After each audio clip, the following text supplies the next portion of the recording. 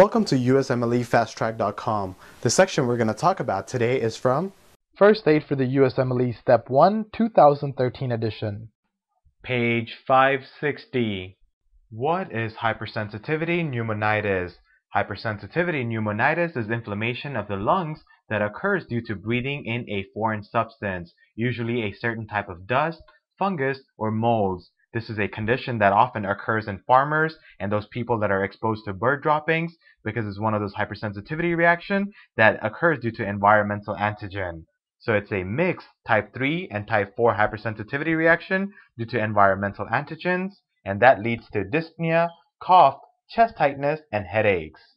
For more information on this topic, click on the link in the description section below. For a full USMLE Step 1 review, be sure to check us out at usmlefasttrack.com where we help you review the entire first aid for the USMLE Step 1 with high quality videos and hundreds of detailed pictures for a better understanding of the material.